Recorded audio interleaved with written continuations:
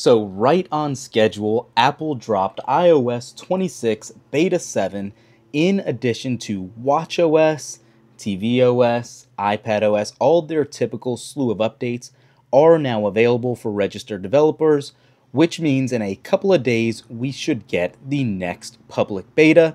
And we'll talk about this whole release schedule in a second and what's going on and really how many more betas we can anticipate because as crazy as it is, we are a little under one month away from the official unveiling of the iPhone 17 series and WatchOS 26 going public, plus whatever else Apple has in store. So, first things first, before we even deep dive into that, I do just want to say that this build installed possibly the quickest it has, and I didn't feel the phone get as hot as it has been that we've been complaining about in the last couple updates. It's definitely warm, but as you can see here, we are not hitting 100. We might up top here, yep, um, but it is still under triple digits for the most part, which says a lot from what it just was in the prior couple of builds. What didn't change though from the other couple builds are just the file size for the download. This still came in at almost 10 gigs on our iPhone 16 Pro Max. So kind of strange that yet again we'd still inc incur these huge downloads, but not a huge deal nonetheless. Just wanted to let you guys know.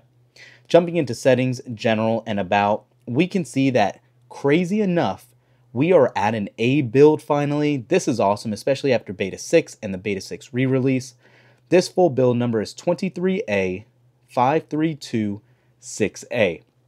If you are new to the channel or new to these builds, A is what you're always looking for. Even a B build at the end signifies that Apple feels these builds are almost ready for the public, and typically you would get an RC right after you have something like this. What's interesting about this, and let's just go ahead and talk about timing and release schedule, we were anticipating still getting another beta here next week. What I mean by that is we are on a weekly release cycle now, so we got a build last week, we got another build this week. We were anticipating one more weekly build on the 25th here, which still could be the case, or Apple might skip a couple of weeks before releasing the RC at the announcement on, or the rumor date on September 9th. So, again, Apple's going to Apple, they can do what they want, but this is very encouraging to see, which also means we should have the best battery life, performance, and stability that we've had in any of these betas so far. And we'll put it through its normal paces here in a second, but I just wanted to let you know that is kind of what we're looking at for a release cycle.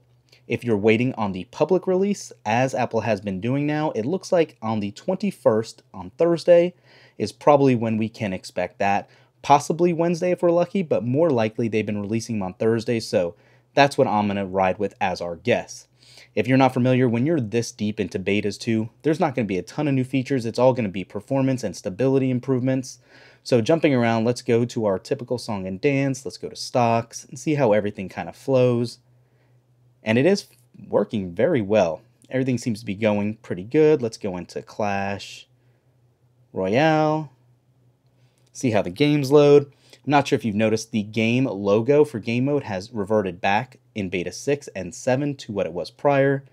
But yeah, you can see everything is working just like you'd anticipate. No real issues there. Let's jump into camera apps. No new splash screens there. Um, so yeah, again, I'm not expecting any real new features here. Beta 6 did bring a ton of new ringtones. If, let's make sure they're actually there. Let's see if the camera control came back too that they removed in the other one. Sounds and haptics. Let's go into ringtones, pick a line, and you can see, okay, they are all still here. Same with Little Bird. So those seven new ringtones are present. That is good to see. Let me go ahead and also show you guys where we're standing with storage. Since this has been a big topic in the comments, we have had an insane amount of storage being taken up by system data, and it looks like this update didn't resolve that at all. We're still at 36, almost 37 gigs in system data. Again, this is always going to fluctuate, but for the last couple of weeks now, we haven't seen this move at all. It has been up to 40 and down to 37 now, but that's still crazy iOS looks to be pretty consistent though. Apple Intelligence is still using 6.27 gigs, and iOS as a whole is using 13.5. Hopefully, there is rumors that base storage across the board will go up this year to 256. Don't know how I feel about that. Again, it's just a rumor. I don't see Apple doing it, but it is something to be aware of nonetheless, which would be very nice if they did make that change. And then going into camera, like I said, yeah, it looks like Apple has officially continued to remove that option for the classic switcher for when you're in your camera app. When you swipe between modes, if you move right, it goes left. You move left, it goes right. Some people preferred it to go in the same direction you're scrolling. So you move right, it should go right. Move left, it should go left.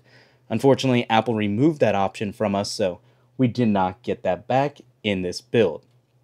In the Control Center 2, we were incurring a bug when you swiped up the first time that it lagged. And there it is still yet again, first move. And this time it's lagging on two, two pages. It's always just that first one that causes that issue. Very weird. Kind of weird to see that Apple hasn't fixed that either. But also, while we're on Control Center, you can see Liquid Glass still looks just like it has in the last couple betas. I'm glad to see Apple is sticking with it. Does still look good in my opinion, still transparent. You can see it in the back, and everything on top of it is very visible, as always. So, again, swiping through, everything is really working pretty well. The phone's cooled down mighty quick, which is good to see. Obviously, battery life is always the big question that a lot of people want to know. We'll have to put it through the paces to know that.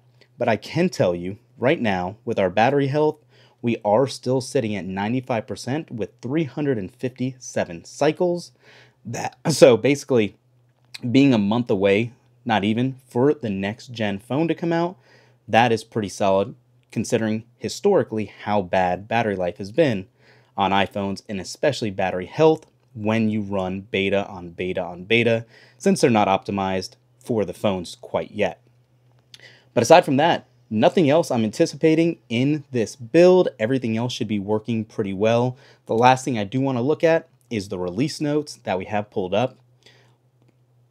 Let's see if they're updated. You can see Apple released all these other beta 7s that we talked about, but I don't believe the release notes were updated yet. Now, again, unfortunately, Apple has decided to update the titles, but not the articles with the correct build numbers. So anticipate this dropping here in the near future. Last week, it did take a couple of days, yes, days, before it was updated. Kind of weird.